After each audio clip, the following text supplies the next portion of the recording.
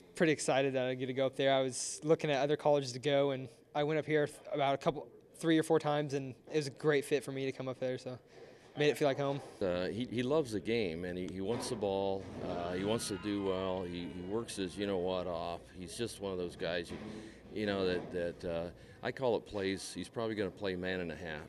Not only does he take care of himself, not only does he do, I, I think, a lot of the right things that's going to help him, him as a player, but I think he can help some people around him. And that's a really valuable, uh, you know, thing to have. It's not everybody has that, but I see I see Cordie as having a really uh, positive influence on the on the players that are around him as well. Yeah, I just want to get in there, hopefully get some playing time as a freshman, stand out. That'd be awesome to go up there and play. Start. That'd be that'd be my dream to start up there.